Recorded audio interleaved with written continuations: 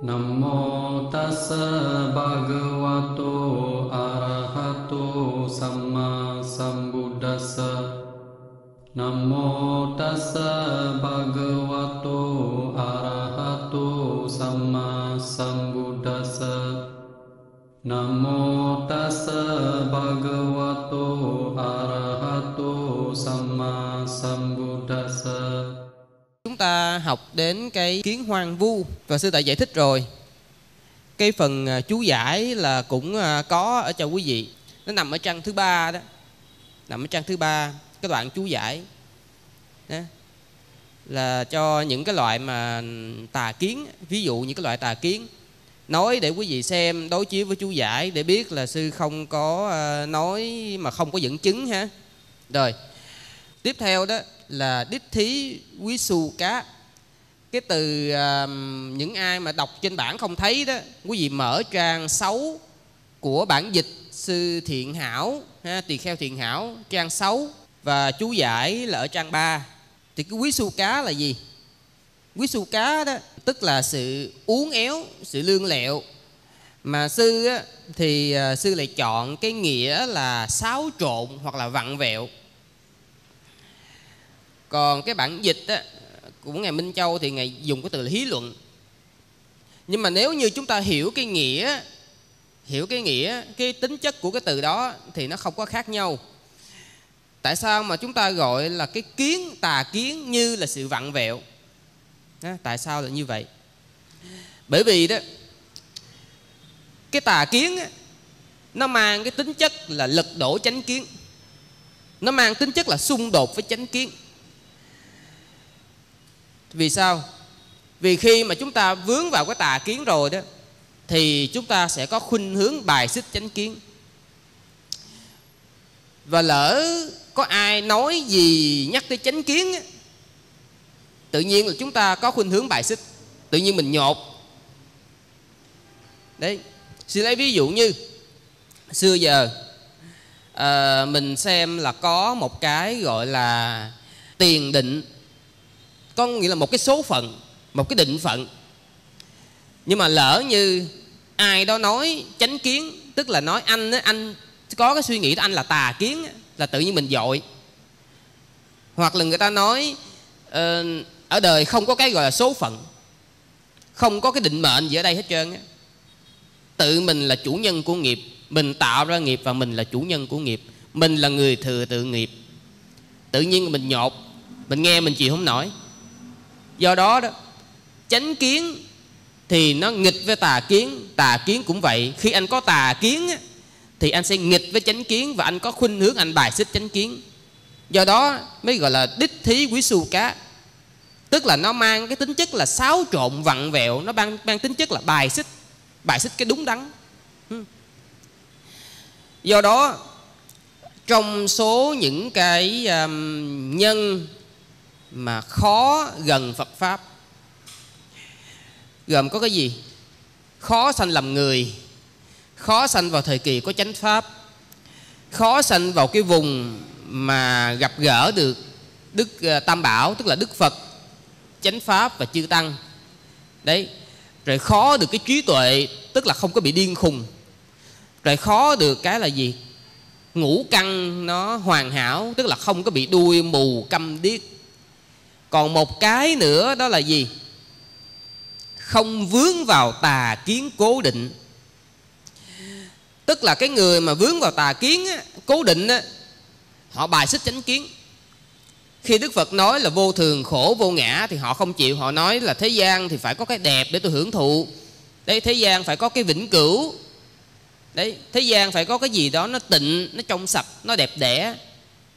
Cho nên tính chất của tà kiến đó là cái sự đối nghịch sự xáo trộn. Nó mang tính chất xáo trộn đối nghịch với tà kiến mang tính chất bài xích tà kiến. Hmm? rồi đích thí quyết phanh đi cá tức là kiến tranh chấp. Ờ, cái từ này đó thì cái từ quyết phanh đi cá đó à, quyết phanh đi cá ở đây thì để là thắt kéo nhưng mà nó có cái ý nghĩa, ngoài cái ý nghĩa tranh chấp ra đó, nó còn có một nghĩa ít hiếm khi dùng tới. Đó là cái nghĩa bối rối hoặc xáo trộn.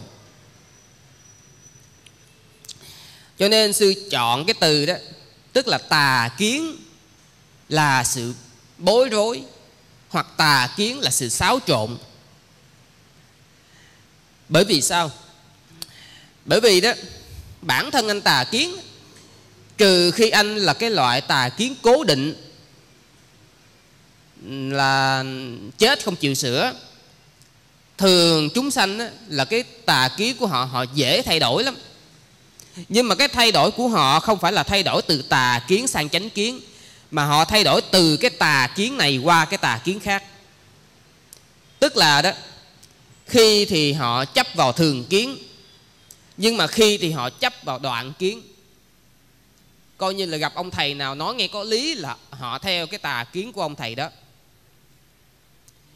Ban đầu á thì họ có một cái thường kiến ví dụ như uh, chúng sanh có một cái linh hồn một cái ngã một cái linh hồn.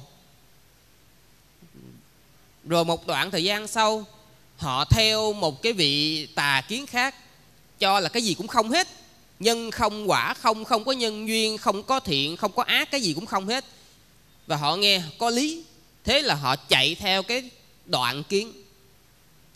Rồi à, họ chạy theo cái đoạn kiến đó. Một thời gian thì họ lại nghe ông thầy khác nói là mặc dù cái gì cũng không hết, nhưng mà có một cái trường tồn bất biến, không bao giờ thay đổi, luôn luôn thanh tịnh. Thì họ lại theo cái, quay ngược trở lại cái thường kiến đấy. Tức là bản thân cái anh tà kiến trừ khi anh là cái thứ tà kiến cố định vĩnh viễn không thay đổi. Họ còn có một kiểu là tà kiến bất định tức là khi thì thường kiến khi thì đoạn kiến khi thì rồi có khi họ bỏ đoạn kiến qua thường kiến khi bỏ thường kiến qua đoạn kiến. Họ nhảy lung tung như vậy. Cho nên mới gọi là cái um, tà kiến nó mang cái tính chất là xáo trộn mang tính với cái ý nghĩa là nó đổi từ cái này qua cái khác. Nó mang tính chất là bối rối bởi vì nó có ý nghĩa là nó không có cố định. Họ không có giữ vững cái lập trường. Nhưng mà quý vị thấy đó tà kiến cái kiểu gì cũng chết. Anh giữ vững lập trường thì anh là tà kiến cố định. Sửa không nổi còn anh á, mà tà kiến anh không cố định á, thì anh lại chạy hết cái này qua cái khác. Cho nên kiểu gì cũng chết. Đấy rồi cái đích thí sang vô chana ở đây tức là cái sự liên kết, sự kết nối, sự trói buộc. Mà ngài minh châu ngài dịch là kiến kiến phượt đó, quý vị thấy này, một số cái từ hán cổ mà bây giờ mình đọc là mình muốn chết luôn, không có hiểu. Ở đây sư định nghĩa ha, tức là tà kiến là sự trói buộc. Tà kiến là sự trói buộc. Bởi vì sao? Bởi vì đó khi chúng ta đã vướng vào cái tà kiến nào rồi á, thì chúng ta bám chặt vào cái tà kiến đó. Và khi chúng ta nhìn cái gì chúng ta cũng nhìn qua cái lăng kính tà kiến. Giống như khi chúng ta đeo cái cặp mắt kiến màu hồng thì chúng ta nhìn đâu cũng thấy màu hồng. Đeo cặp mắt kiến màu đen chúng ta nhìn đâu cũng thấy màu đen. Chừng nào chúng ta bỏ được cái cặp mắt kiến đó ra đó thì chúng ta mới hết tà kiến do đó cái anh mà anh có tà kiến ảnh bám chặt. Được mô tả như là cái con con thú con thú vật á, mà nó cắn chặt cái miếng mồi của nó như thế nào thì cái người có tà kiến họ bám chặt vào tà kiến của họ như thế đó. Và chính bởi vì họ bám chặt cho nên họ bị cái tà kiến nó trói buộc họ. Do đó tà kiến nó mang tính chất trói buộc. Tà kiến chính là sự trói buộc. Ở đây đó, nếu như mà nói rộng ra, thì đó là 62 tà kiến được Đức Phật mô tả à, được Đức Phật nhắc đến, kể ra trong kinh à, Phạm Võng, bài kinh đầu tiên của trường bộ. Và khi mà chúng ta đã có những cái tà kiến như vậy rồi, thì chắc chắn là chúng ta vẫn còn trôi lăn trong dòng sanh tử luân hồi. Nói như vậy, tức là một khi chúng ta có chánh kiến, thì chúng ta chấm dứt vòng sanh tử. Nhưng mà đó, cái chánh kiến của phàm phu đó chưa thật sự là chánh kiến. Bởi vì sao? Bởi vì chúng ta đã học ở cái bài đầu tiên rồi. Tức là còn là phàm phu, họ vẫn còn phải sử dụng cái trí tưởng tượng để họ tưởng tượng về cái chánh kiến tức là họ học cái giáo lý vô ngã, họ phải tưởng tượng một cái cảnh giới vô ngã. Nhưng mà sâu thẳm cái gốc rễ của họ họ vẫn còn nghĩ là, tôi học đạo, tôi tu thiền, tôi bố thí. Nó ăn sâu vào gốc rễ rồi. Và nhiệm vụ của chúng ta là trừ khử nó một cách từ từ khi anh bỏ được tà kiến, tự nhiên anh bước vào dòng thánh. Ừ. còn cái phương pháp, đó là cái mà chúng ta đang học đây. Đấy. Và đó, như thế nào là chánh kiến? Như thế nào là chánh kiến? Tà kiến có nhiều lắm, kể hoài không hết. Nếu như có cơ hội, chúng ta sẽ kể ở một cái buổi khác. Ừ. ở đây đó, chánh kinh vì ấy tác ý đúng rằng đây là khổ. Tác ý đúng rằng đây là nhân sanh khổ. Tác ý đúng rằng đây là sự diệt khổ và tác ý đúng rằng đây là phương pháp dẫn đến sự diệt khổ. Tức là cái sự thấy bốn sự thật. Khi chúng ta thấy đúng bốn sự thật, thì đó là chúng ta có sự suy tư hợp lý. Cho nên, đức phật nói là với cái người mà có sự suy tư hợp lý đó, thì những cái phiền não nào chưa có thì nó sẽ không có và có rồi nó sẽ biến mất. Quý vị sẽ nói là, ủa, cái này ai học đạo mà tới giờ này không biết được bốn đế? Tức là ở đây là khổ, đây ờ, khổ tập diệt đạo, tức là đây là khổ đây là nguyên nhân khổ, đây là sự chấm dứt khổ và đây là con đường đưa đến sự chấm dứt khổ. Hầu như quý vị bước chân vào đạo, tìm hiểu đạo phật thì đều nghe mấy cái này. Mà tại sao mình nghe hoài mình không thấy là mình có gì nó khác? Thậm chí nhiều người đó, họ nảy sinh ra một cái suy nghĩ sai lầm như thế này mà uh, kinh tạng gọi đó là ayoniso đó tức là cái sự suy tư không hợp lý đó là gì? Bốn đế nó thấp lắm. Họ coi thường bốn đế. Bởi vì họ thấy bốn đế không có gì lạ chứ không có gì mới hết trơn á. Quanh đi quẩn lại có nhiêu đó thôi. Nhưng họ lầm. Lầm là bởi vì sao? Bởi vì theo chú giải đó anh phải là một vị thánh thì anh mới thấy đúng được bốn sự thật. Còn cái người phàm á thì anh chưa thấy được. Còn phàm mà muốn thấy được bốn sự thật á anh phải thực hành con đường tuệ quán. Ở trong cái chú giải đó cho nên cái đoạn số 20 và 21 á, mới nói là muốn mà thấy được bốn sự thật á muốn thấy được bốn sự thật thì cái vị đệ tử đó phải thực hành cái con đường một là thiền chỉ. Quý vị mở cái coi cái đoạn 21 chú giải số 21 á, cái đoạn thứ tư từ trên đếm xuống ha đoạn thứ tư từ trên đếm xuống. Đấy vị ấy phải thực hành đoạn thứ tư và thứ năm vì ấy phải thực hành thiền chỉ hoặc thiền quán cái con đường chỉ hoặc quán. Vipassana mắt gá à, vipassana mắt găng đấy. Cho nên anh muốn thấy được bốn sự thật để mà anh như lý tác ý thì anh phải thực hành tứ niệm xứ. Chứ không phải anh chỉ đơn giản là anh đọc là được. Đọc uh, ai cũng đọc được hết. Đây là khổ đây là nguyên nhân khổ. Đây là sự chấm dứt khổ và đây là con đường đưa đến sự chấm dứt khổ. Có đọc cả một đời cũng không đi tới đâu hết.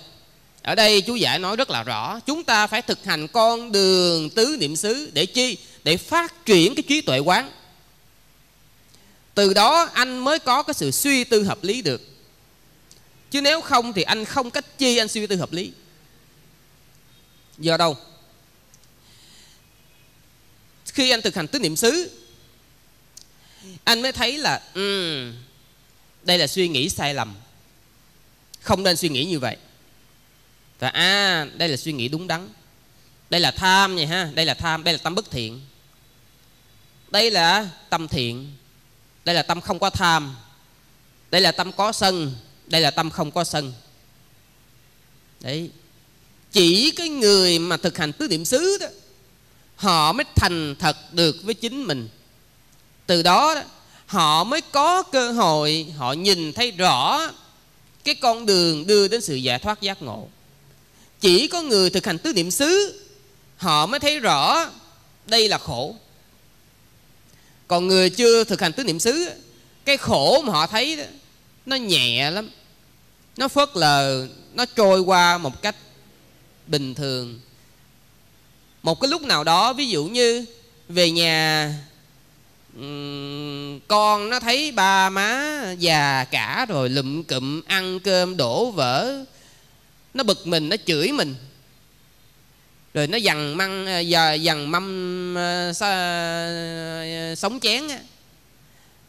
Nó nói nặng, nói nhẹ mình. Con rể, con ruột có khi nó không nó không nói gì mình, nhưng mà con dâu có khi là nó nó nó dằn mặt mình khi đó mình mới cảm thấy cái khổ. Nhưng mà nó thoáng qua rồi thôi. Chỉ có người thực hành tứ niệm xứ họ mới thấy rõ được cái khổ. Và chỉ có người thực hành tứ niệm xứ họ mới thấy được đây là nhân sanh khổ. Do đâu? Do ái là nhân sanh khổ. Còn người bình thường á, họ không thấy được chuyện đó họ chỉ nghĩ đơn giản, tôi thương con tôi, mà con tôi giờ nó bất hiếu, nhưng dù sao nó cũng là con của tôi. Và thế là họ vẫn cứ khổ. Anh không thực hành tứ niệm xứ, anh không thấy rõ được sự thật. Ái là nhân sanh khổ, anh không thấy. Và nếu như anh có thấy dựa trên kinh tạng, thì cái thấy của anh chỉ là cái thấy da lông thôi. Anh không có thấy bằng cái sự trải nghiệm, bằng sự kinh cảm, anh không thấy được.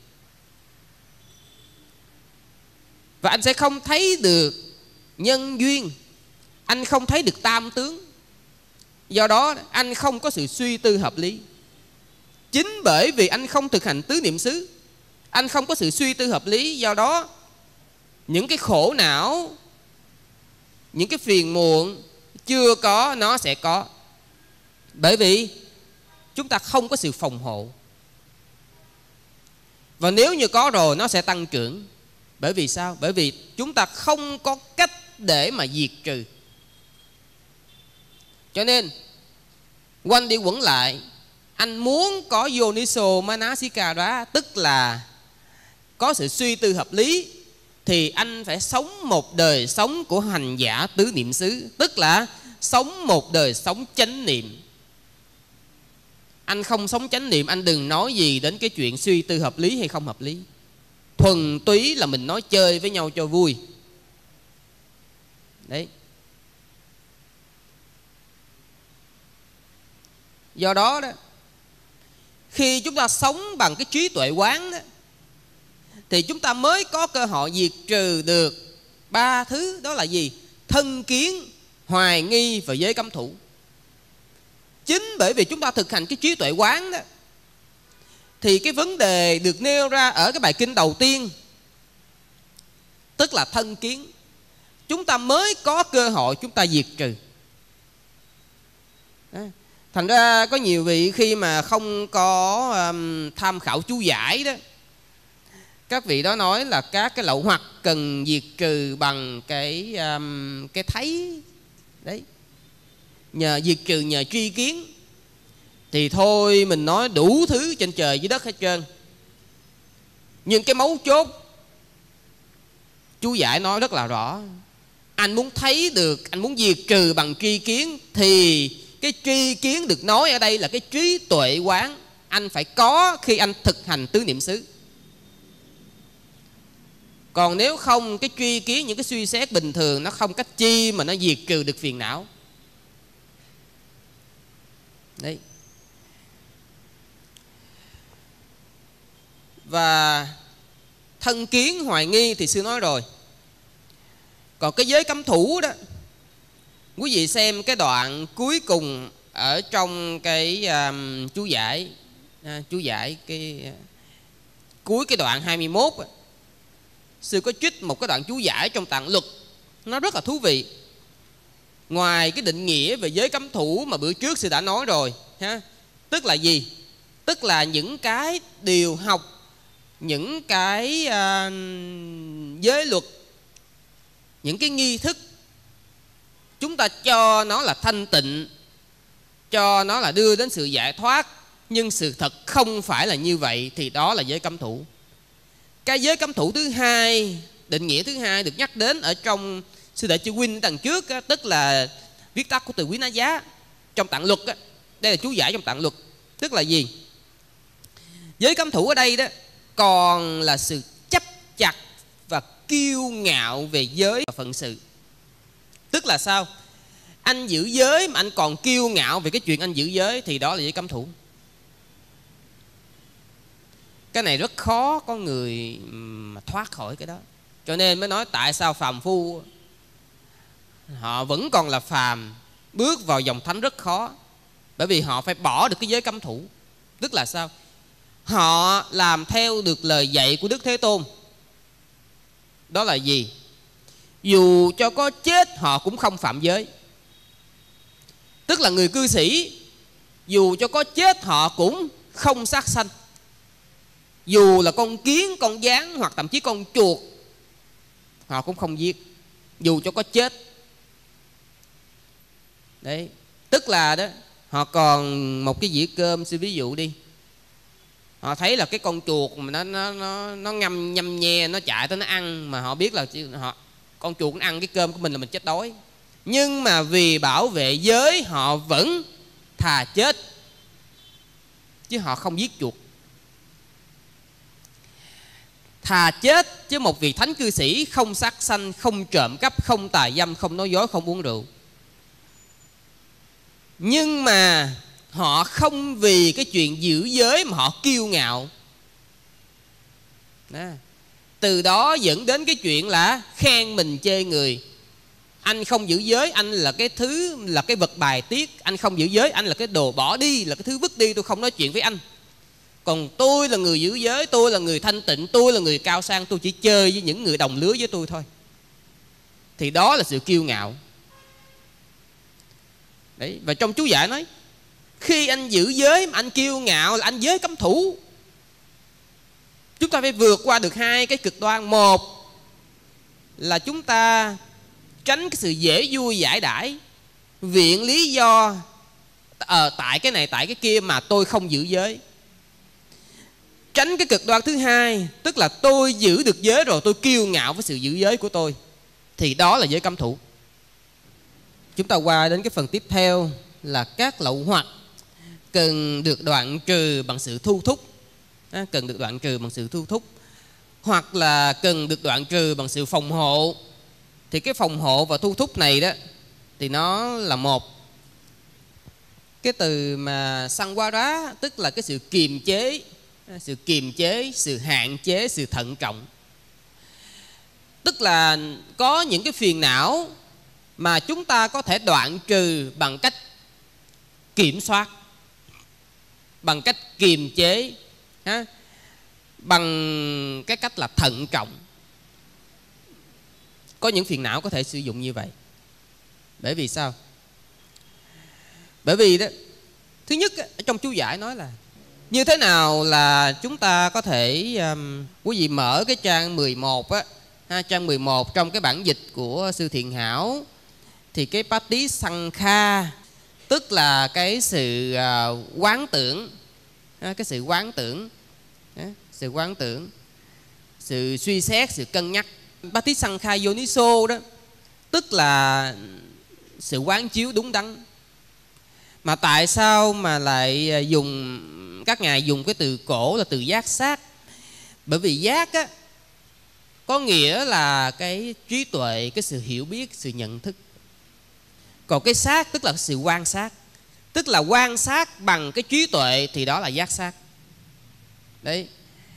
Còn hiểu theo cái nghĩa gần sát với Bali đó, và nói theo cách dễ hiểu, tức là cái sự quán chiếu một cách đúng đắn, cái sự suy xét một cách đúng đắn đó. thì ở đây đó, trong chú giải đó, chúng ta cần phải quán sát cái gì? Cần phải quan sát cái gì? Quan sát cái sự tai hại quan sát sự tai hại của việc không thu thúc. Tức là đối với cặp mắt á, chúng ta quan sát suy tư những cái nguy hại gì mà chúng ta phải đối mặt nếu như chúng ta không kiểm soát cặp mắt của mình ở trong chú giải có nhắc đến một bài kinh, một bài kinh ở trong tạng luật. Có nhắc đến một đoạn kinh trong tạng luật. Là khi Đức Thế Tôn giảng cho ba vị ờ, Kassapa, tức là ba vị ca diếp, thờ thần lửa đó. Đức Thế Tôn giải, này các tỳ khưu, tất cả đều bị cháy rực. Và này các tỳ khưu, cái gì là tất cả đều bị cháy rực? Này các tỳ khưu mắt bị cháy rực, các sắc bị cháy rực. Sự nhận thức của mắt bị cháy rực, sự tiếp xúc của mắt bị cháy rực. Tức là cảm thọ sự sanh lên do duyên tiếp xúc của mắt là lạc hay khổ, hoặc không lạc, không khổ cũng đều bị sự cháy rực. Bị cháy rực bởi điều gì? Ta nói rằng bị cháy rực bởi tham, bị cháy rực bởi lửa sân, bị cháy rực bởi lửa si bị chế rực bởi sanh già, bởi chết, bởi những nỗi buồn rầu, bởi những điều ta tháng bởi những nỗi khổ đau, bởi những sự bất mãn, bởi những điều thất vọng. Sư nói tóm gọn lại. Tức là cặp mắt của chúng ta đó bị thiêu đốt. Thiêu đốt bởi cái gì? Khi mắt chúng ta tiếp xúc với cảnh, khi mắt chúng ta nhìn bất kỳ một vật gì, thì khi chúng ta nhìn những vật đó, cặp mắt của chúng ta bị thiêu đốt nó bị thiêu cháy. Và chúng ta bị khổ. Cháy bởi cái gì? Cháy bởi cái tham. Cháy bởi cái sân. Và cháy bởi cái si. Và chúng ta bị thiêu cháy bởi vì những cái sự buồn rầu, những sự bất mãn, bởi vì những cái biến hoại không ngừng của những cái hình ảnh mà mình nhìn thấy. Xin lấy ví dụ khi chúng ta soi gương, chúng ta thấy một cái nếp nhăn ở trên trán, một nếp nhăn ở khóe mắt, thì có phải chính cái nếp nhăn đó nó đang thiêu cháy cặp mắt của chúng ta hay không? Khi chúng ta nhìn thấy một cái sợi tóc bạc ở trên đầu, có phải chính cái sợi tóc bạc đó nó đang thiêu cháy chúng ta hay không? Thiêu cháy tại sao vậy? Bởi vì chúng ta không muốn già, nhưng mà cái già nó không tránh khỏi và chính cái đó nó thiêu cháy chúng ta chúng ta không biết. Đấy. Rồi khi chúng ta trang điểm, chúng ta thoa son, chúng ta đánh phấn, chúng ta soi gương, chúng ta nhìn cái hình ảnh của chúng ta trong cái gương á, chính cái hình ảnh đó nó thiêu cháy chúng ta mà chúng ta không biết. Thiêu cháy bởi cái gì? Thiêu cháy bởi cái tham. Ai không muốn đẹp? Ai cũng muốn đẹp hết. Chính bởi vì cái lòng tham muốn đẹp đó mới dẫn chúng ta đến sự trang điểm. Và khi chúng ta nhìn vào cái hình ảnh của chúng ta đó, chúng ta có cái sự thiêu cháy. Cái lửa tham của mình ấy nó thiêu cháy mình. Cho nên biết bao nhiêu người mua hàng đóng những cái vật trang sức, hàng đóng những cái mỹ phẩm. Đấy để chi? Để họ trang điểm cho cái nhan sắc của mình. Và chính họ đang bị thiêu cháy mà họ không thấy. Và cho đến khi cái nhan sắc nó luôn luôn bị biến hoại không ngừng, họ quen với cái sự trang điểm đó rồi đó. Quen đánh mắt kẻ mắt, quen đánh môi, quen kẻ phấn, đánh phấn. Quen trang điểm bởi những cái trang sức, bởi những cái y phục thật là đẹp. Họ bị thiêu cháy bởi vì cái họ sợ hãi. Họ sợ cái gì? Sợ đối mặt với sự thật khi mà họ bỏ cái lớp hóa trang đó ra. Họ sợ đối mặt với sự thật khi họ tháo hết những cái trang sức đó xuống. Đấy. Nhưng mà sự thật vẫn cứ là sự thật. Cho nên chúng ta bị thiêu cháy bởi cặp mắt mà chúng ta không thấy, chúng ta không biết do đó đức phật nói, phải nhìn thấy sự nguy hại của một cặp mắt không có thu thúc, bị thiêu cháy. Đấy. Rồi cũng trong chú giải, nói chúng ta như vậy đó, làm sao để thu thúc nó? Làm sao để thu thúc nó? Đóng mắt lại, đừng có nhìn nữa. Đừng có nhìn nữa. Giống như con rùa đó giống như con rùa. Khi mà nó gặp những cái sự nguy hiểm, tấn công, cái phản ứng của nó là gì? Rút đầu lại, rút hết tay chân lại, rút đuôi lại. Tức là rút hết tất cả những cái của nó, rút vào trong cái mai rùa. Thì khi đó nó sẽ bảo vệ, nó sẽ được bảo vệ. Cũng vậy, chúng ta cần tu tập giống như con rùa ở cái chỗ khi thấy được sự nguy hại, chúng ta rút nó lại, bảo vệ nó lại, đừng có nhìn nữa. Quý vị ghi cái này, trong tạng luật sự thu, thúc cặp mắt, tức là khi đi, chúng ta chỉ nhìn trong cái tầm khoảng hai cái lưỡi cày, tức là khoảng 2 mét, tầm cái lưỡi cày đó, tức là khoảng 2 mét.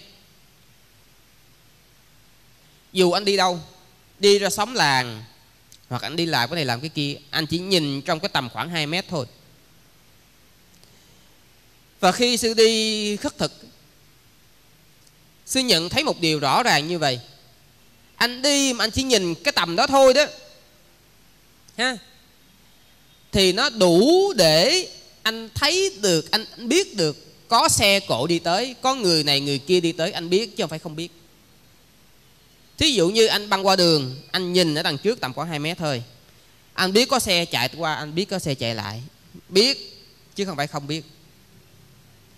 Rồi khi mà trên đường có vật cản á biết chỉ việc giữ cái tầm nhìn đó thôi anh đi anh biết hết. Không cần anh phải nhìn cho thiệt là xa không cần. Đấy. rồi khi mà chúng ta cần nhìn lên ấy, cần nhìn lên. Học theo ngài a nậu lâu đà tức là ngài anuruddha ngài đã dạy trong trung bộ kinh. Sắp tới chúng ta sẽ học, nhưng mà còn lâu lắm. Ngài dạy như thế nào?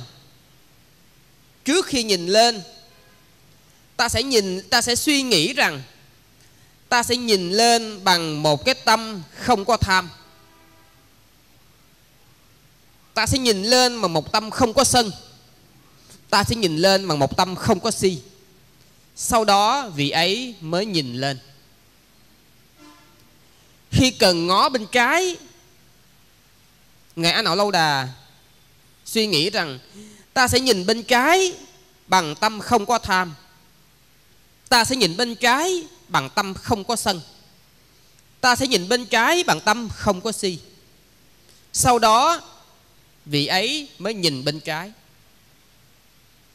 Tức là trước khi nhìn, tự mình phải nhắc nhở mình, tự mình phải phòng hộ. Sau đó mới nhìn. Chứ không phải là mình nhìn cho đã rồi là mình chết chắc.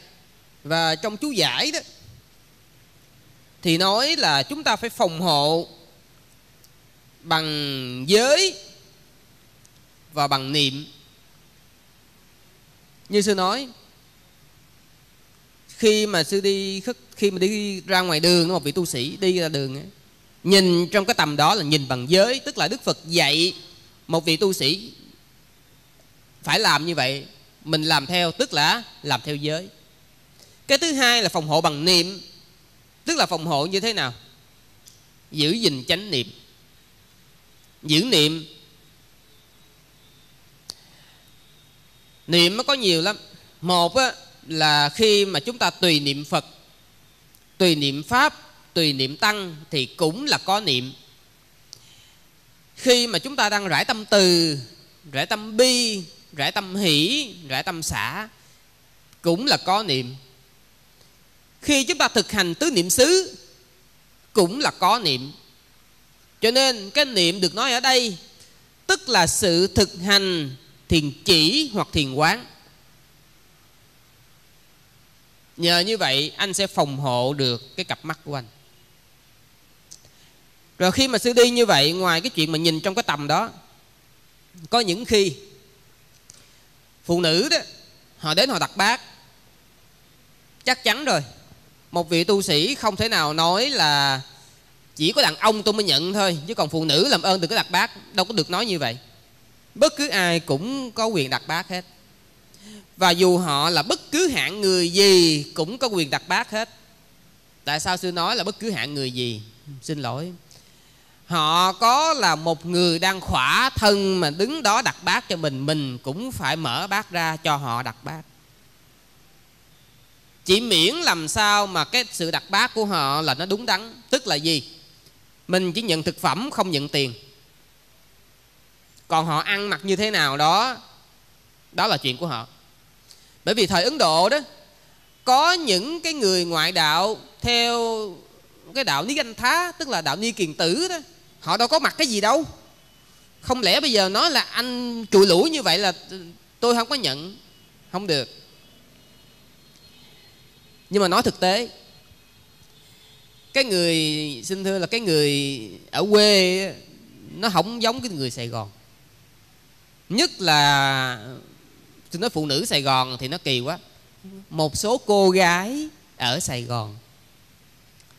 Xin thưa là họ mặc đồ á vào chùa còn đỡ nhiều lúc người, nhiều người họ vào chùa họ cũng không ý tứ đâu.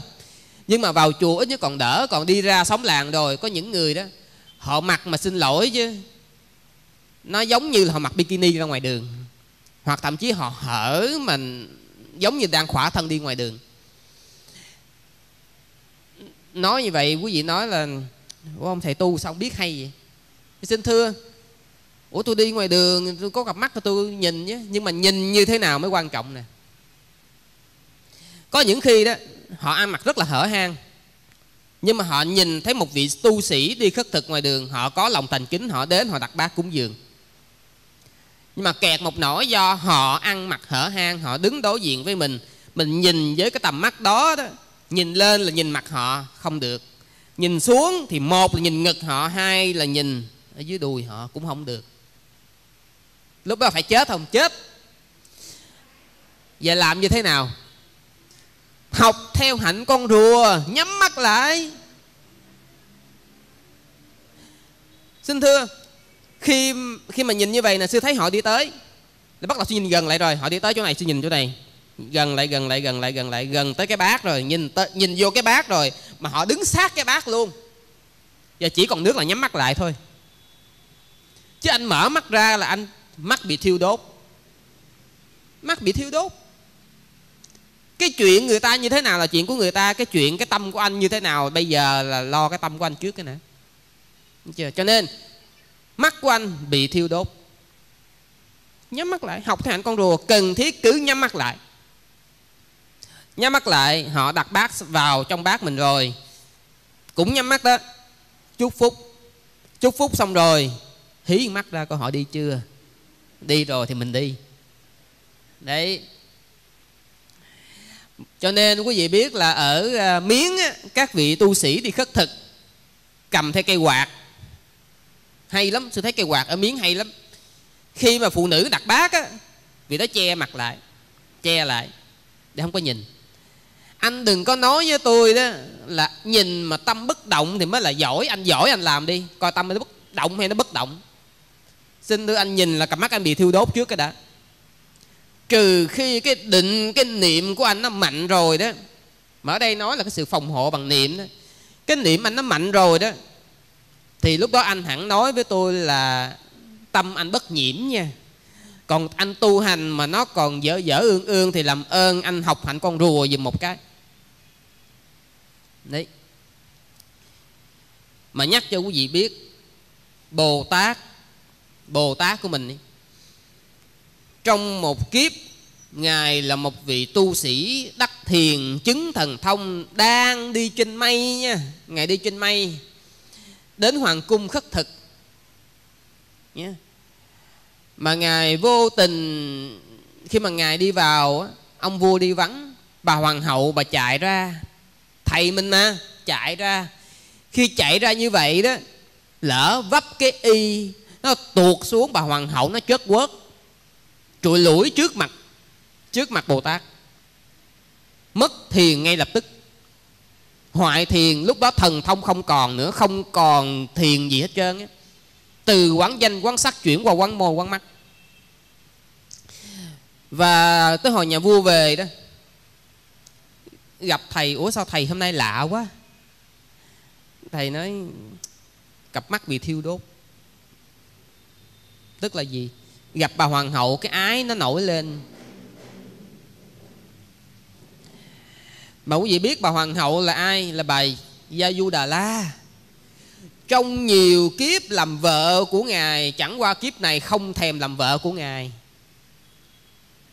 Thành ra nhìn một cái là ái nhiễm nó khởi lên nhắc để cho một vài vị đừng có quá tự tin là tôi nhìn cái người khác giới, tôi không có cảm xúc gì hết. Với tôi là coi như bất nhiễm. Lỡ ha lỡ ha, quý vị nhìn chúng cái người từng làm vợ, từng làm chồng quý vị, lúc đó quý vị chết. Lúc đó ái nó khởi lên, quý vị đỡ không nổi đâu, xin thưa. Ngay cái bồ tát, ngài còn chịu không nổi, nói chi mình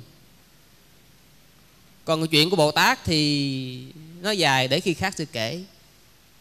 Mà nói ở đây để nhắc cho quý vị thấy ngay cả một vị bồ tát ấy bồ tát chánh đẳng giác ấy chứng thiền định chứng thần thông mà gặp ngay cái bài gặp ngay bà du gia, gia du đà la là vợ trong nhiều kiếp. Ngài còn đỡ không nổi. Đừng nói tới mình cho nên làm ơn làm phước chưa giải thoát đừng có tự tin.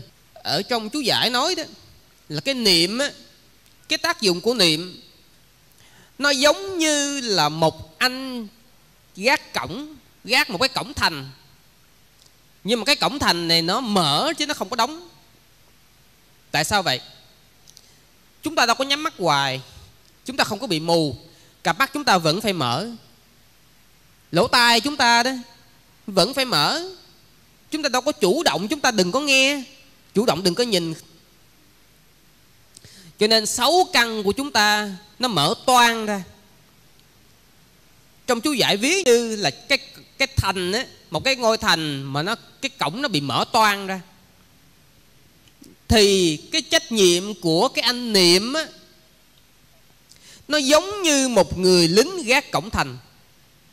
Thì đối với một người không có niệm, thì cũng giống như một ngôi thành không có người gác cổng hoặc là người gác cổng, ngủ quên, ngủ gật. Từ đó, giặc nó bước vào. Do đó, phiền não nó sẽ phát hiện, nó sẽ xuất hiện. Đấy. Còn khi đó, mà anh có niệm, anh sống có niệm niệm là gì? Niệm là sự ghi nhớ. Niệm xá tí tức là sự ghi nhớ. Sẵn nói luôn chứ để một số cái thuật ngữ Phật học á, mà không có nói rõ thì chúng ta um, suy diễn lung tung. Niệm là sự ghi nhớ. Nhưng mà ghi nhớ cái gì mới quan trọng? Ha? Thứ nhất là ghi nhớ 40 đề mục thiền chỉ. Tức là tùy niệm Phật tùy niệm Pháp tùy niệm tăng tùy niệm thí tùy niệm giới tùy niệm thiên. Niệm sự chết niệm niết bàn à, niệm hơi thở rồi 10 đề mục tử thi 32 thể trượt bốn vô lượng tâm từ bi hỷ xã 10 cá xanh, vàng, đỏ, trắng, đất, nước, lửa, gió, hư không, ánh sáng. Đó là 40 đề mục thiền chỉ. Chúng ta chỉ cần một trong số đó thôi. Ví dụ như, rải tâm từ. Quý vị thực hành rải tâm từ. Thì khi chúng ta đang thực hành tâm từ, tức là khi đó chúng ta đang có niệm. Cái thứ hai là khi chúng ta thực hành tứ niệm xứ tức là khi đó chúng ta có niệm.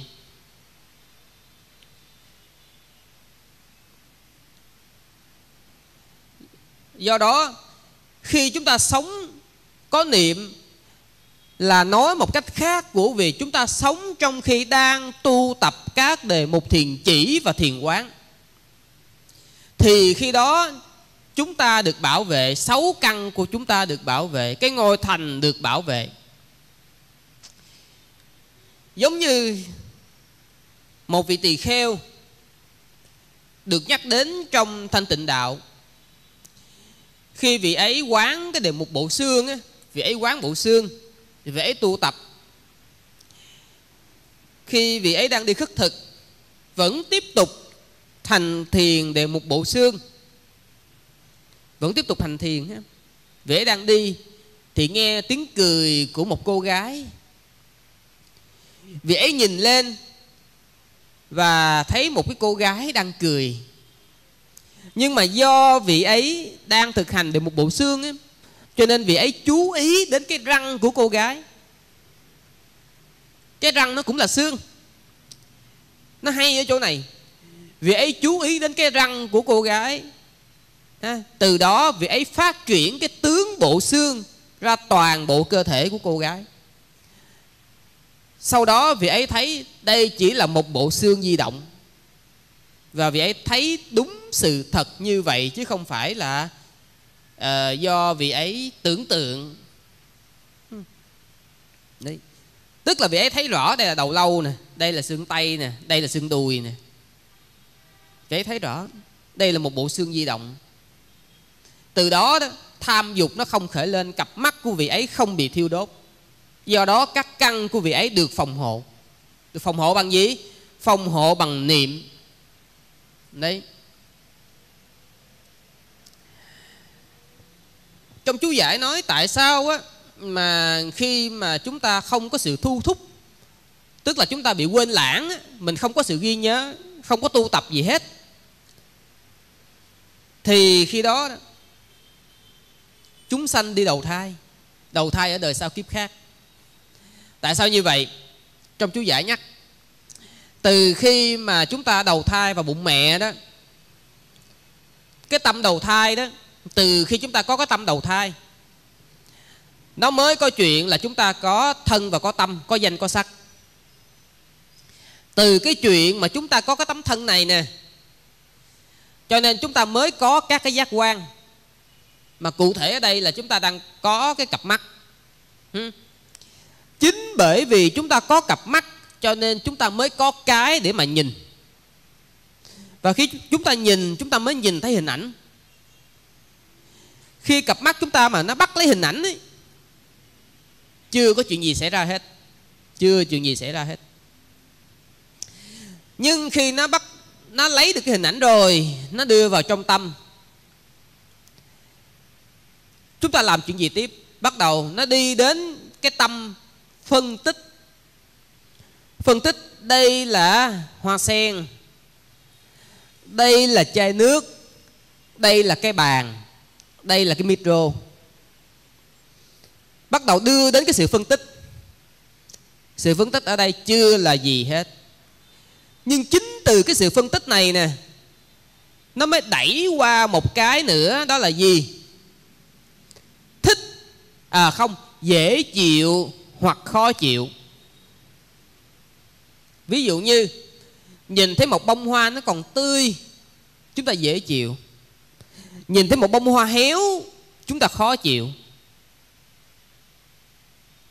Chính cái sự dễ chịu hoặc khó chịu này nó chưa là gì. Bởi vì sao? Ví dụ như, khi chúng ta mở mắt chúng ta nhìn nhìn thấy một cái ánh sáng chói rọi thẳng vào mắt chúng ta chúng ta nhíu lại nó chỉ đơn thuần là cái thọ khổ của cặp mắt thôi. Mắt đang cảm giác khó chịu. Hoặc khi chúng ta mở mắt, chúng ta nhìn thấy một bông hoa đẹp, chúng ta có cảm giác dễ chịu. Vấn đề chưa nằm ở đó. Vấn đề nằm ở chỗ này, khi có những cái cảm giác dễ chịu hoặc khó chịu, nó là duyên cho sự thích hoặc ghét đó mới là vấn đề. Đấy. Và chính bởi vì chúng ta thích hoặc ghét, chúng ta mới tạo các nghiệp thiện ác. Và chính bởi vì chúng ta tạo các nghiệp thiện ác, chúng ta mới đi đầu thai. Và chính bởi vì chúng ta đi đầu thai, cho nên mới không tránh khỏi sự già, sự bệnh, sự chết. Muốn mà không được, thương phải xa, ghét phải gần thấy chưa? Mà nó bắt đầu từ đâu? Bắt đầu chỉ đơn giản là cặp mắt, thấy hình ảnh mà thôi. Khi sư nói cái chỗ này, quý vị nghe nó dễ hiểu hay khó hiểu? Sư nghĩ là dễ hiểu á. Sư đang nói với quý vị về 12 duyên khởi đó. Vô minh duyên hành tức là do chúng ta không hiểu về sự, bốn sự thật, cho nên chúng ta mới tạo các nghiệp thiện ác. Hành duyên thức, do chúng ta tạo các nghiệp thiện ác, cho nên chúng ta mới đi đầu thai. Thức duyên danh sắc, do chúng ta đi đầu thai, cho nên chúng ta mới có thân và có tâm. Danh sắc duyên lục nhập, do chúng ta có cái tấm thân và có tâm này, cho nên mới có những cái cảnh để chúng ta nhìn mới có cái chúng ta nhìn có cái chúng ta nghe có cái chúng ta suy tư. Lục nhập duyên xúc do mắt nhìn thấy hình ảnh cho nên mới có cái sự tiếp xúc mới có cái dễ chịu hay khó chịu. Đấy. mắt nhìn hình ảnh mới có cái chuyện dễ chịu hay khó à, xin xin lỗi. Mới có sự tiếp xúc giữa mắt và hình ảnh. Xúc duyên thọ từ cái chuyện tiếp xúc mắt và hình ảnh đó mới có cái cảm thọ dễ chịu hay khó chịu. Thọ duyên ái, tức là từ cái dễ chịu hay khó chịu đó, chúng ta mới có cái chuyện là thích hay ghét. Ái duyên thủ, tức là từ cái thích hay ghét đó chúng ta dính mắc vào trong đó. Thủ duyên hữu là từ cái chuyện dính mắc chúng ta mới tạo các nghiệp thiện ác hữu duyên sanh, tức là do chúng ta tạo các nghiệp thiện ác, chúng ta mới tiếp tục đi đầu thai. Và sanh duyên ưu bi lão tử, tức là do chúng ta đi đầu thai mới có cái chuyện già, bệnh, chết, thương phải xa, ghét phải gần, muốn không được. Quý vị thấy, vòng tròn duyên khởi được nói đến sư dùng một cái cách mà sư nghĩ là quý vị dễ tiếp thu. Do đó vấn đề của một người không có niệm, tức là không có sự ghi nhớ, thực hành, cái con đường đưa đến giải thoát giác ngộ, đó là gì? Khi họ nhìn thấy hình ảnh, các cái cảm thọ khởi lên, dễ chịu hoặc khó chịu, họ đi đến chuyện thích hoặc ghét, từ đó làm các nghiệp thiện ác. Còn đối với cái người có niệm tức là có sự thực hành, có sự thực hành chỉ hoặc quán khi họ nhìn thấy hình ảnh, các cảm thọ khởi lên, dễ chịu hoặc khó chịu, họ ngay lập tức nó là duyên cho cái việc thực hành tuệ quán. Hoặc là thực hành thiền chỉ. À thấy, thí dụ như mắt đi ra đường, mắt thấy một cô gái đẹp, cảm thọ dễ chịu khởi lên, ngay lập tức quay trở lại hơi thở thở, hít thở. Ngay lập tức quay lại tứ niệm xứ. Ngay lập tức quay lại đề mục tùy niệm phật. Đó, thì khi đó, sáu căn của chúng ta được phòng hộ. Thấy chưa?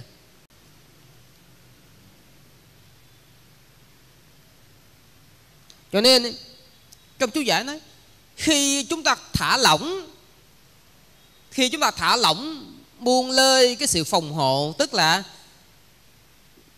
nói theo cái kiểu bình dân là mình xả thiền không hành không hành thiền nữa. Thì khi đó khi khi đó phiền não xuất hiện. Do đó tại sao đức phật nói có những phiền não có thể phòng hộ bằng à, có thể diệt trừ bằng sự phòng hộ. Ở chùa có cái khóa tu thiền sư đã nhắc nhở à, khi mà ăn nhớ chánh niệm trong khi ăn. Mọi người ăn giữ gìn chánh niệm rất là thoải mái rất là ngon lành. Nhưng mà sau khi ăn xong bắt đầu dọn dẹp vệ sinh ấy, rồi nghỉ ngơi ấy, là mọi người đi đến một cái trạng thái thả lỏng. Mà khi thả lỏng như vậy tức là sáu cổng thành người gác cổng đi ngủ. Từ đó phiền não xuất hiện. Các cô, các anh, các chị ngồi nói chuyện, rơm rã. Mà sư nói, khi anh thất niệm như vậy, phiền não chắc chắn nó sẽ khởi lên. Mà do anh không giữ chánh niệm, anh không biết. Đấy. Thành ra cẩn thận. Hmm. rồi cái do đó đó, chúng ta phải có sự phòng hộ. Thứ nhất là phòng hộ bằng cái giới luật. Thứ hai là phòng hộ bằng niệm. Tức là giới luật đức phật hướng dẫn như thế nào, chúng ta thực hành như thế đó. Niệm tức là cái con đường thực hành như thế nào, chúng ta thực hành như thế đó. Đối với vị tỳ kheo thì đó là giới bổn ba khác đấy đó là tỳ kheo giới hoặc tỳ kheo ni giới. Còn với hàng cư sĩ thì đó là năm giới.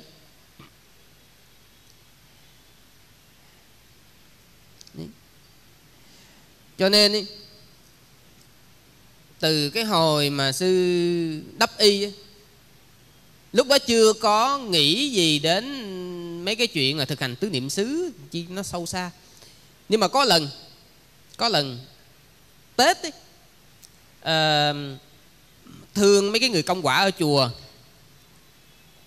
Cho nên là mới uh, dắt họ đi đầm sen.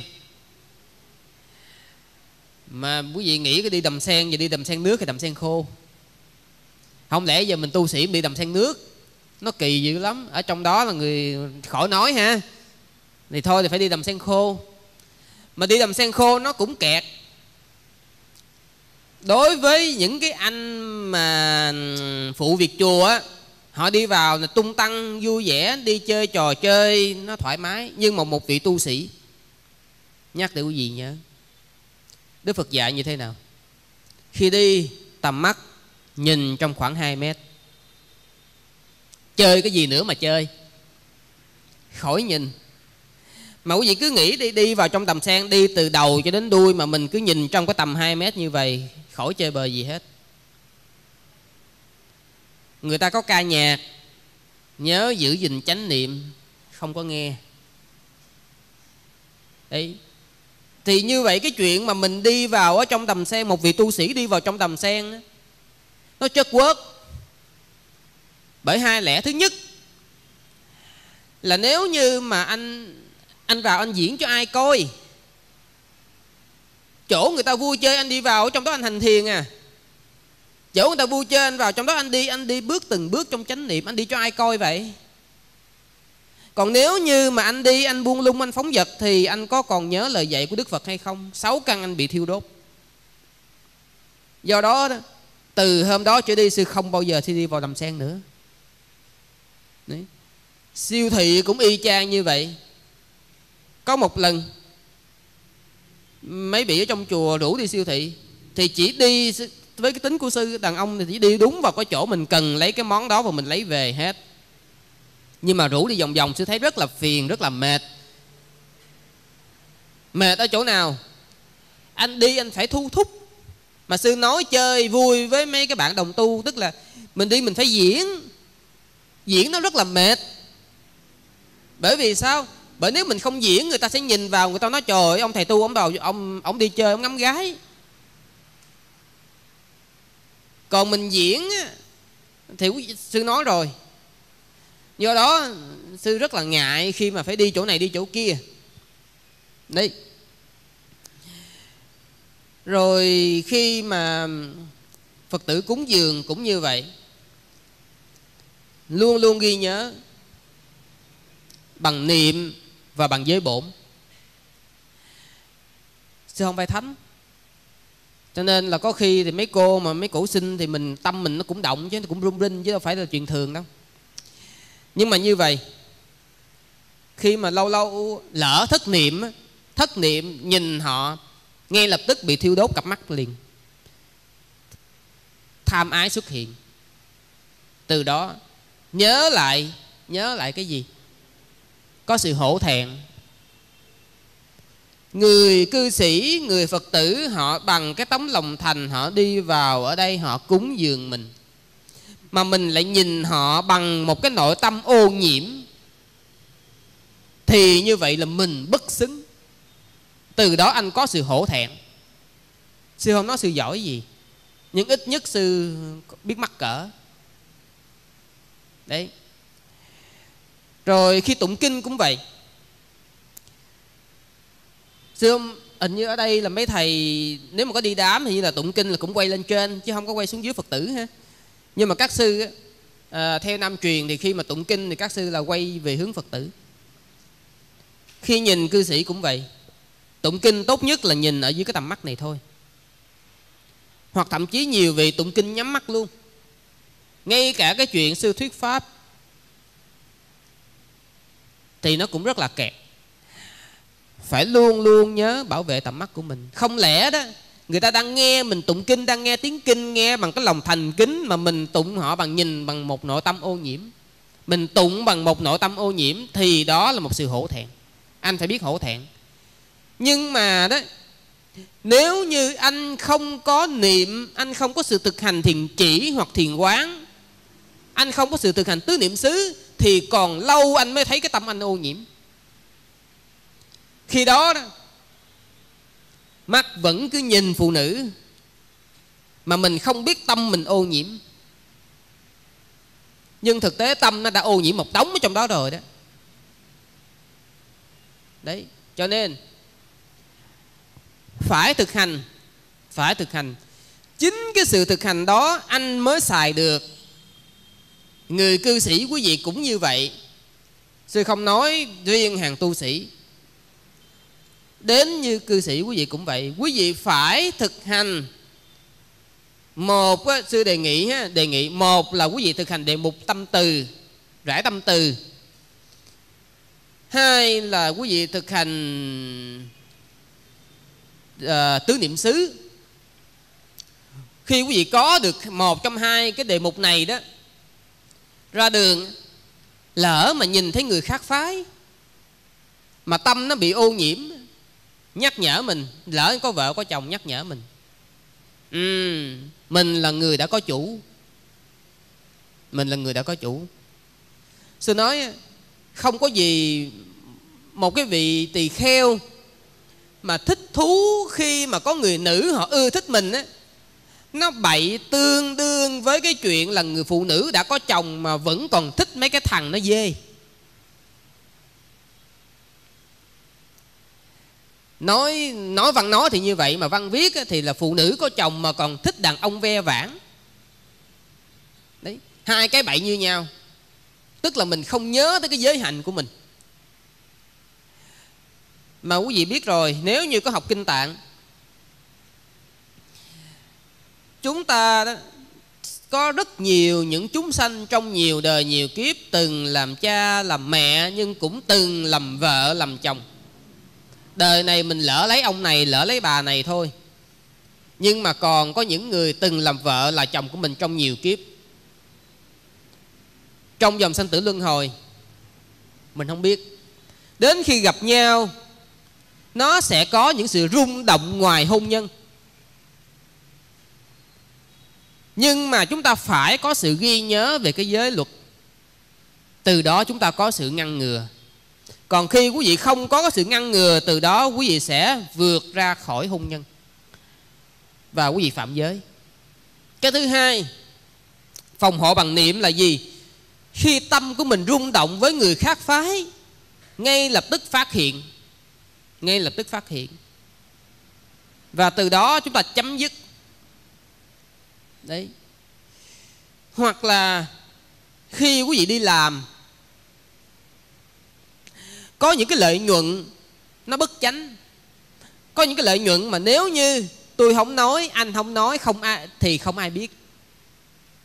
Nhưng mà bằng cái sự chánh niệm, bằng cái niệm của mình ấy, bằng cái giới của mình ấy, mình biết đây là cái thu nhập bất chánh. Từ đó mình ngưng lại khi mà anh đi làm, anh kiếm tiền, mà cái sự kiếm tiền của anh ấy, nó động chạm đến quyền lợi của chúng sanh khác. Nhờ niệm, nhờ giới, khi anh có sự thực hành, anh phát hiện ra đó, anh ngừng lại. Từ đó, những phiền não chưa có, nó sẽ không có. Còn nếu không, anh sẽ bị thiêu đốt. Do đó, về nhà lỡ mà có soi gương á, nhắc chính mình cặp mắt đang bị thiêu đốt. Chuẩn bị mà lấy cái điện thoại chụp hình nhắc chính mình cặp mắt đang bị thiêu đốt. Đấy. Đó là sự phòng hộ cặp mắt. Phòng hộ bằng giới và phòng hộ bằng niệm còn thế nào là sự phòng hộ sống? Cái sống á ờ, à, viharati cái sống ở đây tức là gì? Trong chú giải nói. Tức là ở trong bốn oai nghi mà chúng ta thu thúc sáu căn. Nghĩa là sao? Chúng ta kiểm soát cặp mắt của mình kiểm soát lỗ tai kiểm soát suy nghĩ của mình kiểm soát sáu căn trong khi chúng ta đi đứng nằm ngồi tức là làm cái gì đi nữa cũng phải thu thúc sáu căn. Tức là sống trong sự thu thúc. Chứ không phải chúng ta nói là uh, thôi bây giờ ngồi thì thiền còn đứng thì thôi khỏi. Sư thấy nhiều người lạ lắm. Họ chỉ chịu hành thiền khi nào họ ngồi mà thôi tức là họ chỉ giữ gìn chánh niệm khi nào họ ngồi mà thôi. Mà trong khi đó đức thế tôn nói rất là rõ. Trong chú giả nói rất là rõ. Chúng ta có bốn ngoại nghi đi đứng nằm ngồi. Tức là anh phải giữ gìn chánh niệm anh phải sống chánh niệm khi cả đi đứng nằm và ngồi. Đừng nghĩ là à, bây giờ tới giờ ngủ rồi. Thôi thả lỏng. Thì khi anh thả lỏng như vậy là anh đang mở cửa sáu căn một vị hành giả đó, vị ấy giữ gìn chánh niệm, ngay cả trong giấc mơ vị ấy vẫn không thất niệm. Khi mà vị ấy giữ chánh niệm trong khi đang nằm, quý vị thực hành đi, quý vị cứ thực hành đi. Khi mà quý vị đi, đứng, ngồi, quý vị vẫn giữ chánh niệm. Cho đến khi quý vị nằm quý vị vẫn giữ chánh niệm thì đến lúc mà ngủ nằm mơ, quý vị vẫn giữ chánh niệm. Chỉ có người nào làm rồi thì họ mới trải nghiệm cái chuyện này.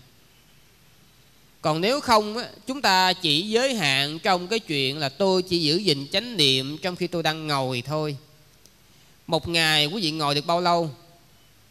Trong một số thiền viện sư xin thưa một số thiền viện ở việt nam, ngồi, chúng ta chỉ ngồi được có chừng 4 tiếng đồng hồ sáng 2 tiếng, chiều 2 tiếng, nếu mà tối thêm 2 tiếng nữa là 6 tiếng hết rồi. Trong những oai nghi còn lại, chúng ta sinh hoạt, chúng ta không giữ gìn chánh niệm, thì khi đó sáu căn chúng ta bị thả lỏng. Do đó, tại sao ngay cả trong các thiền viện mà chúng ta vẫn bị phiền não? Tại sao ở trong chùa chúng ta vẫn bị phiền não? Do đâu? Do chúng ta chỉ khi nào ngồi chúng ta mới giữ chánh niệm, còn khi chúng ta đi, đứng nằm, chúng ta quên chánh niệm, chúng ta mở cửa cho sáu căn. Cho nên chúng ta sẽ phiền não. Mắt bớt thấy thì tâm bớt phiền. Đấy. ngoài ra đó, không, trong bốn oai nghi này là bốn oai nghi chính. Nó còn có những oai nghi phụ, tức là gì? Khi mà co tay, duỗi tay hoặc là sư nói theo cách dễ hiểu đi. Dù là khi chúng ta tắm rửa, chúng ta vẫn giữ gìn chánh niệm. Tức là, ví dụ như quý vị thực hành đề mục từ tâm, dù là tắm rửa, quý vị vẫn rải tâm từ. Hoặc là quý vị đang tùy niệm phật, dù là đang tắm rửa vẫn tùy niệm phật. Chứ đừng nói lúc đó là, thôi tôi lột đồ ra, tùy niệm phật kỳ lắm, sai anh vẫn tùy niệm phật ngay cả khi tắm rửa. Và trong kinh đại niệm xứ đức phật nói luôn ngay cả khi đang tiêu tiểu vẫn giữ gìn chánh niệm. Chứ không phải chúng ta nói là vào trong toilet mà giữ chánh niệm là nó uh, phỉ bán pháp không phải. Đức Phật nói rõ dù cho cái chuyện mà đi vệ sinh á, cũng phải giữ gìn chánh niệm và cho đến cái chuyện là ăn, uống, nhai, nếm cũng phải giữ gìn chánh niệm. Do đó, chúng ta giữ gìn chánh niệm trong tất cả các sinh hoạt hàng ngày, từ lúc mở mắt cho đến lúc nhắm mắt. Quý vị có thể nói là, trời ơi, sống chi khổ vậy? Quý vị cứ thử đi, một ngày quý vị rải tâm từ đó. Cứ sống trong tâm từ sống trong một ngày tâm từ. Quý vị sẽ có những trải nghiệm nó lạ lắm nó an lạc lắm. Và cái đời sống chánh niệm trong tứ niệm xứ á, nó không đòi hỏi quý vị phải thêm một cái gì hết. Đừng có nghĩ là chúng ta sống chánh niệm là mình phải thêm một cái gì đó mình phải sống nó lạ lùng như thế nào đó. Không phải. Chỉ có điều như thế này thay vì chúng ta vừa ăn cơm, chúng ta vừa lướt facebook, vừa ăn cơm, vừa nghĩ đến chuyện giận hờn bỏn sẻn ganh tị chuyện nọ, chuyện kia, thì chúng ta vừa ăn cơm, chúng ta ghi nhận rõ là chúng ta đang ăn cơm. Chỉ vậy thôi. Đó là một đời sống có thu thúc cặp mắt. Bài học đến đây tạm ngưng à, xin chi phước đến tất cả chúng sanh. Nguyện cho chúng sanh được thọ hưởng tùy ý. Sau khi đã thọ hưởng rồi được thoát khỏi những điều thống khổ được kết quả làm người quả trời cùng quả niết bàn. Idang me bunyan cha vô hồ tu. À, mời quý vị à, chắp tay lại chúng ta hồi hướng. Nguyện cầu tam bảo từ hàng đồ nguyện thoát ba thai nước lửa binh. Nguyện thảy chúng sanh khỏi oan kết. Nguyện cho nhân loại sớm tu hành. Nguyện gìn tâm học giới định tuệ. Nguyện đoàn tham sân si độc sanh. Nguyện giải căn nhân sanh tử khổ. Nguyện diệt tâm tham háo lợi danh. Nguyện tu tinh tấn không giải đãi. Nguyện sao đạo quả sớm tiên thành. Nam mô bút thầy nam mô tham mai nam mô sanh khai